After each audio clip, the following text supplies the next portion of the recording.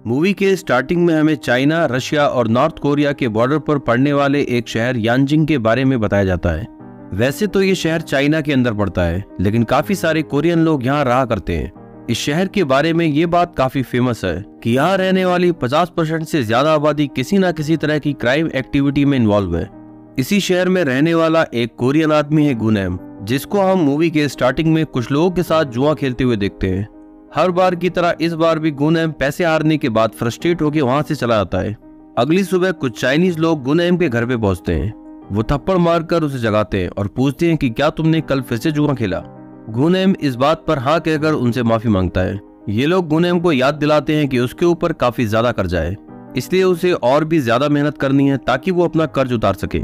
यहाँ हमें पता चलता है कि गुनेम के ऊपर लगभग साढ़े छह लाख रुपए का कर्जा है। जो उसने इस शहर के किसी चाइनीज़ गैंगस्टर से उधार लिया था। इसके बाद गुनेम फिर से पैसे कमाने के लिए कैब चलाने निकल जाता है।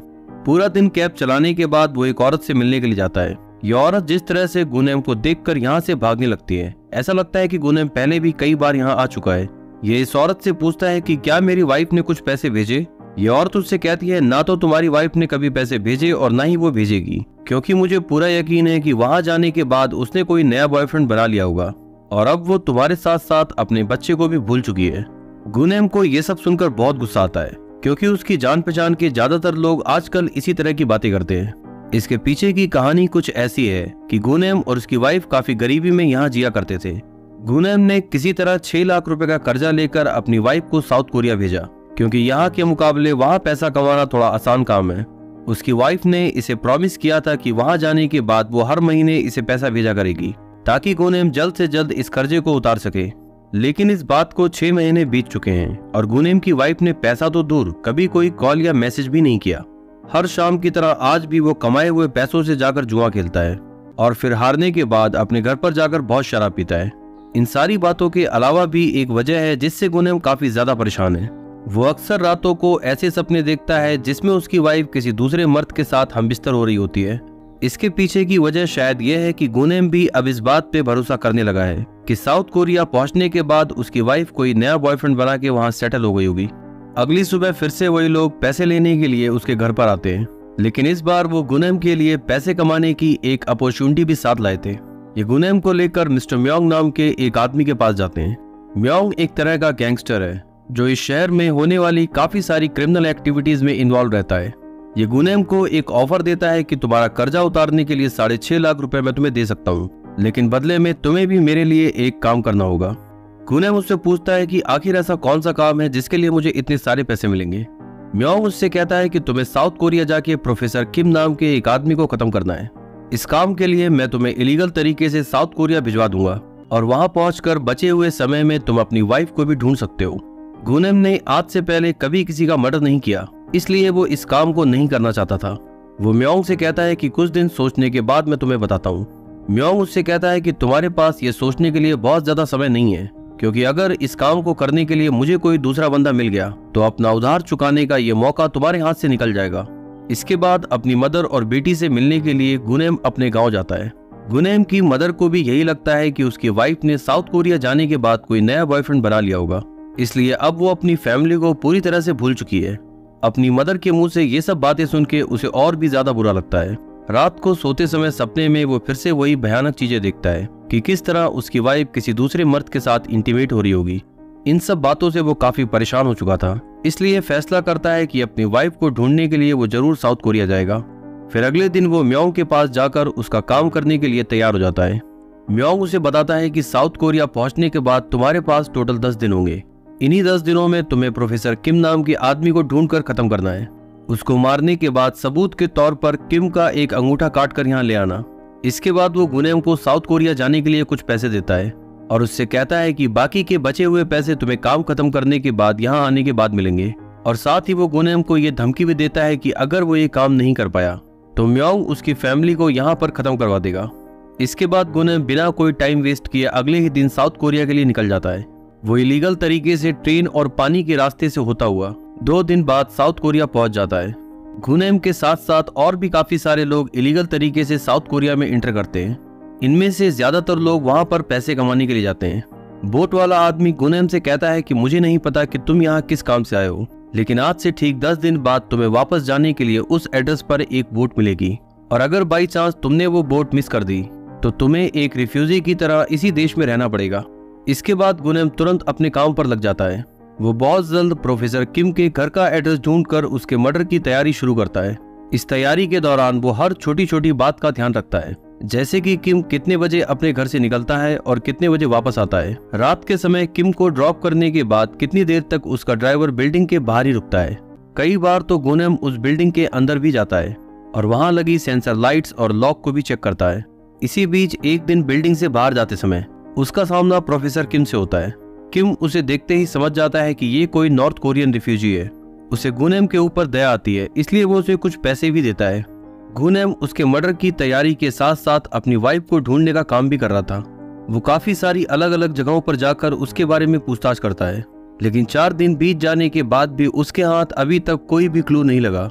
फिर एक दिन किसी रेस्टोरेंट में काम करने वाली एक औरत से उसे पता चलता है कि उसकी वाइफ पहले यहीं पर काम किया करती थी। ये गुनेम को बताती है कि यहाँ काम करते समय उसकी वाइफ की किसी जैपनीज आदमी से दोस्ती हो गई। फिर एक दिन उसने यहाँ की जॉब छोड़ दी और उसी आदमी के साथ कहीं पर काम करने लगी। गुनेम उससे पूछता है कि वो आदमी उसे कहाँ मिलेगा।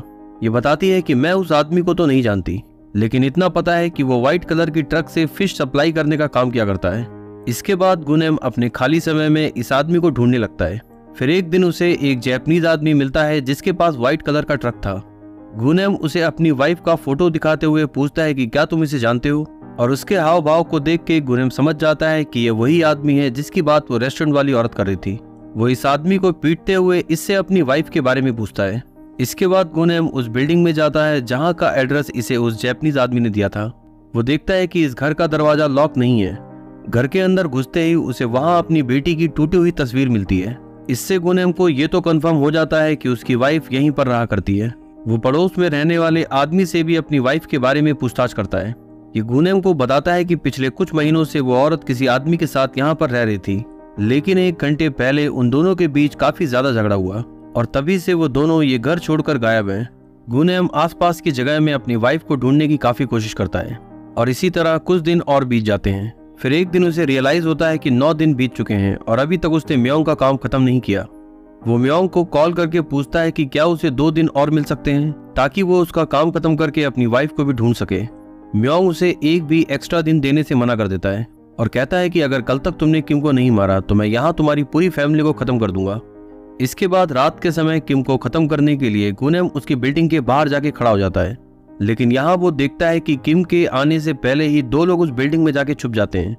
थोड़ी देर बाद किम भी अपने ड्राइवर के साथ वहाँ पहुँचता है।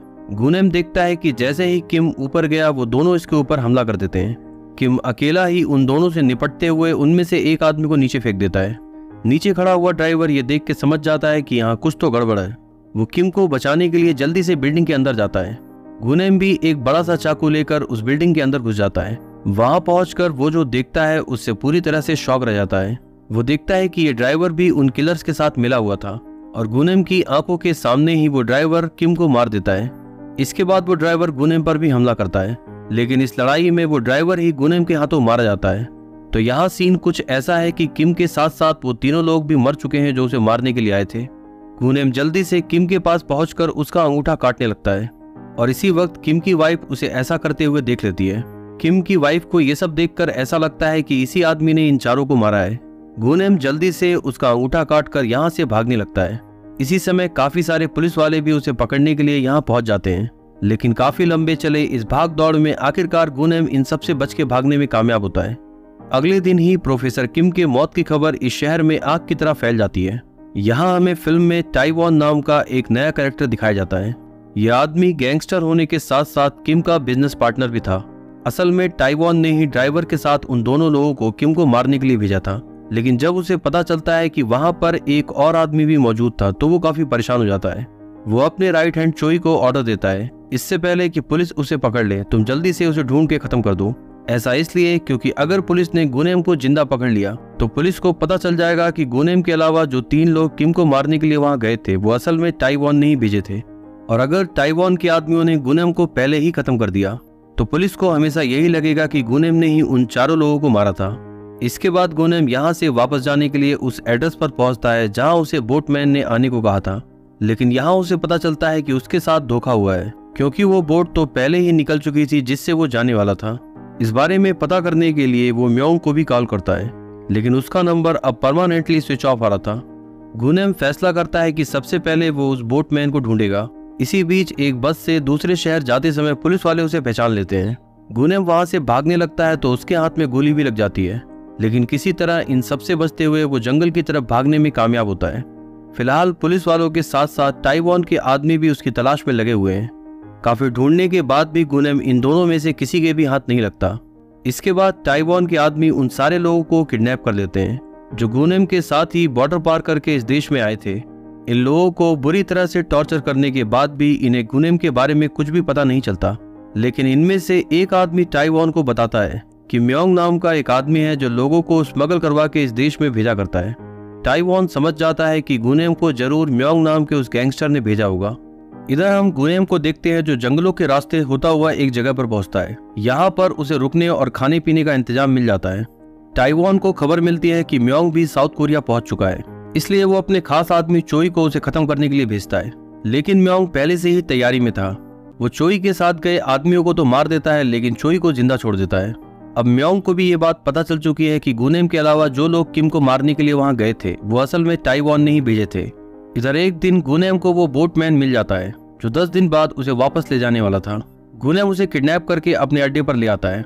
ये गुनेम को बताता है कि ये सब कुछ उसने म्योंग के कहने पर ही किया, जिसका मतलब यह है कि गुनेम को इस तरह से फंसाने का पूरा प्लान म्योंग का ही था। इधर म्योंग टाइवान को कॉल करता है और उससे कहता है कि तुम्हारा खास आदमी चोई मेरे पास ही है। किम के मर्डर को लेकर तुम्हारा सारा प्लान मुझे पता चल चुका है। इसलिए मैं तुमसे बिज़नेस डील करने के लिए तुम्हारे शहर में पहुँच चुका हूँ। फिर वो चोई को छोड़ते हुए कहता है कि जो भी मैंने तुमसे कहा है, अपने बॉस को जाके समझा देना। इधर गुनैम उस बोटमैन की हेल्प से यहाँ से निकलने का जुगाड़ बना लेता है।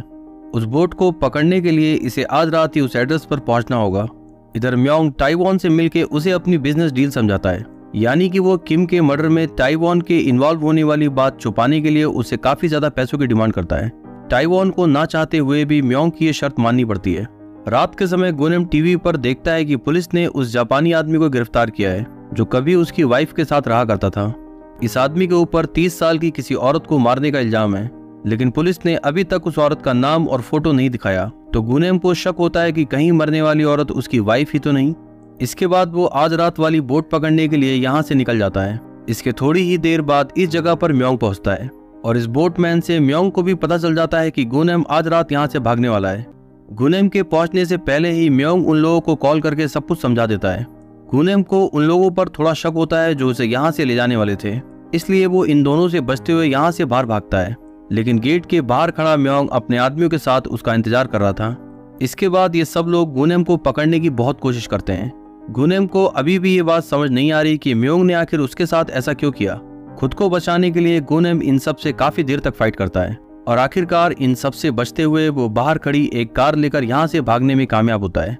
इधर म्योंग अपने आदमियों के साथ अपने अड्डे पर पहुँचता है। खाने पीने के बाद सोने के लिए वो अपने कमरे में चला जाता है। लेकिन सोने से पहले वो टाइवान को कॉल करके उसे यहाँ मिलने के लिए बुलाता है। इधर गुनेम एक पुलिस वाले को कॉल करके पता लगवाता है कि कहीं वो मरने वाली औरत उसकी वाइफ ही तो नहीं।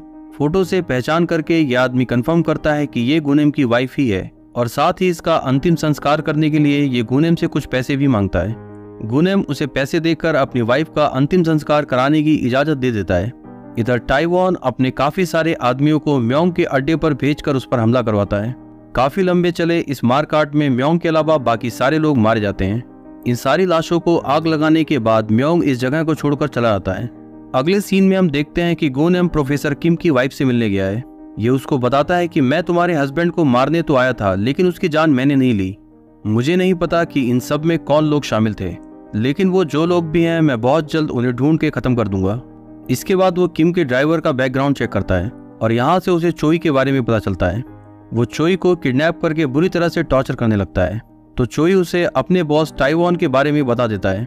इसके बाद वो टाइवान को खत्म करने के लिए उसके अड्डे की तरफ़ जाने लगता है। लेकिन तभी अचानक से दो लोग उसकी कार का एक्सीडेंट कर देते हैं। इसके बाद ये लोग गुनेम को किडनैप करके यहाँ से कहीं दूर ले जाते हैं। इधर म्योंग भी उस जगह पर पहुँच जाता है जहाँ टाइवान अपने आदमियों के साथ है। गुनेम को किडनैप करने वाले ये दोनों लोग प्रोफेशनल किलर नहीं थे और इसी का फ़ायदा उठा के गुनेम इनमें से एक आदमी को मार देता है। गुनेम दूसरे से पूछता है कि तुम्हें किसने भेजा है? ये गुनेम को बताता है कि तुम्हें मारने के लिए मुझे बैंक में काम करने वाले किसी आदमी ने पैसे दिए थे। वो आदमी असल में किसी भी गैंग का नहीं है, लेकिन अपनी गर्लफ्रेंड की हेल्प करने के लिए उसने ऐसा किया। इसी बीच उस आदमी का पैर खिसक जाता है और वो नीचे गिर के मारा जाता है। इन दोनों की कार में गुनेम को उस बैंक वाले आदमी का कार्ड मिलता है, जिसने इन दोनों को उसे मारने के लिए भेजा था। वहीं दूसरी तरफ़ हम देखते हैं कि म्योंग ने एक एक करके ताइवान के सारे आदमियों को मार दिया। वो ताइवान को ज़िंदा छोड़ने के लिए उससे काफ़ी सारे पैसों की डिमांड करता है। ताइवान कहता है वो सारे पैसे उसने अपने घर में छुपा रखे हैं। तो म्योंग ताइवान के साथ उसके घर की तरफ़ जाने लगता है। लेकिन रास्ते में अचानक से ही ताइवान इस गाड़ी से बाहर कूद जाता है। उसे पकड़ने के लिए म्योंग उसके पीछे जाता है। लेकिन तभी अचानक से टाइवान उसके ऊपर हमला करके उसे घायल कर देता है। म्योंग खुद को संभालते हुए टाइवान को बुरी तरह से मारने लगता है और आखिरकार टाइवान को खत्म करके वो यहाँ से जाने लगता है। लेकिन इन सबके बीच म्योंग भी काफ़ी ज़्यादा घायल हो चुका था। इसलिए थोड़ी सी ही दूर जाने पर वो भी अपना दम तोड़ देता है। इसके कुछ ही देर बाद गोनेम भी यहाँ पहुँचता है। वो देखता है कि म्योंग अपनी गाड़ी के अंदर मर चुका है। इसके बाद वो टाइवान के पास जाता है। वो देखता है कि टाइवान अभी पूरी तरह से नहीं मरा है, बल्कि अपनी अंतिम साँसें गिन रहा है। इसी दौरान टाइवान अपने आप में कुछ बड़बड़ा रहा था। ये सब सुनने के बाद गुनेम को पता चलता है कि प्रोफेसर किम का टाइवान की वाइफ के साथ अफेयर था, और इसी बात का बदला लेने के लिए उसने अपने आदमियों को किम को मारने के लिए भेजा था। तो यहाँ पर एक गुत्थी तो सुलझ जाती है कि आखिर टाइवान किम को क्यों मारना चाहता था। इसके बाद गुनेम उस पुलिस वाले से मिलकर अपनी वाइफ की अस्थियाँ उससे ले लेता है। फिर अगले दिन वो सीधा उस बैंक में जाता है, जिसके बैंक मैनेजर का कार्ड गुनेम को उन किडनैपर की गाड़ी में मिला था। यहाँ पर गुनेम कुछ ऐसा देखता है जिससे वो पूरी तरह से शॉक हो जाता है। वो देखता है कि प्रोफेसर किम की वाइफ और ये बैंक मैनेजर एक दूसरे को अच्छे से जानते हैं और यहाँ उसे पूरी कहानी समझ में आ जाती है। तो कहानी कुछ ऐसी है कि किम की वाइफ का इस बैंक वाले के साथ अफेयर था। इन दोनों ने मिलकर किम को मारने का प्लान बनाया। और इस काम के लिए इस बैंक वाले ने म्योंग को हायर किया था, और उसके बाद म्योंग ने किम को मारने के लिए गुनेम को यहाँ भेजा था। लेकिन इनमें से किसी को भी ये बात नहीं पता थी कि टाइवान भी किम को मारना चाहता था। किम की वाइफ और उसका बॉयफ्रेंड गुनेम को यहाँ देखकर पूरी तरह से हैरान और परेशान रह जाते हैं। लेकिन गुनेम उनको बिना कुछ कहे चुपचाप वहाँ से चला जाता है। इसके बाद वो एक बोट वाले को चाकू का डर और पैसों का लालच देकर यहाँ से चलने को कहता है। ये बोट वाला येलो सी के रास्ते से होता हुआ गुनेम को उसके घर की तरफ़ ले जाने लगता है। रास्ते में गुनेम उन पलों को याद करता है, जब उसने अपनी वाइफ को साउथ कोरिया भेजते समय सी ऑफ़ किया था। काफ़ी ज़्यादा खून बहने की वजह से कुछ ही घंटों में गुनेम की भी मौत हो जाती है। इसके बाद ये बोट वाला आदमी गुनेम की बॉडी और उसकी वाइफ की अस्थियों को पानी में फेंक कर यहाँ से चला जाता है, और इसी इमोशनल एंडिंग के साथ ये फ़िल्म यहाँ पे समाप्त होती है।